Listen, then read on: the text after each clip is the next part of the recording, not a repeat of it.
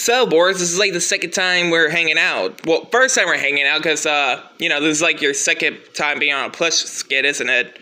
Uh, pretty much, yeah, John Cena. Also, did Bendy told you he broke up with uh, Alice months ago? Like 10 months ago? Uh, yeah, last week. Why?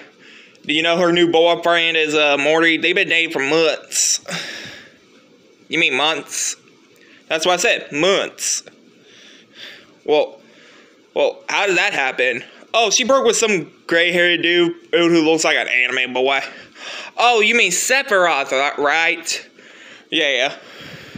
Yeah, pretty much. Yes. To be honest, did you know he's like the most hated character of of the Final Fantasy history? Well, not just the history, like video game history. Uh, well, no, not until you just told me. How did you know? Oh, I found it out on. I looked it up. Oh. Ouch, ouch, ouch. Never test me again. Well, what? Oh my gosh, Morty, are you okay? What happened? He fought with me, so I went to battle. He brutally assaulted, he brutally injured me. I need to go to the hospital. Okay, right away, Morty.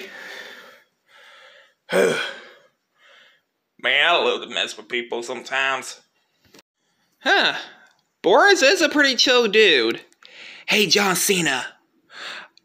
Oh, hey, Batman, what's up? Uh, where's your friend Braun? Show me, I need to talk to him. Well, why? What happened? Well, he's in the kitchen. Why? Okay, thanks.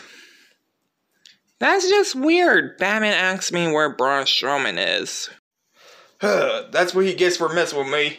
Hey, are you Braun Strowman? Uh, are you the Robert Pattinson Batman?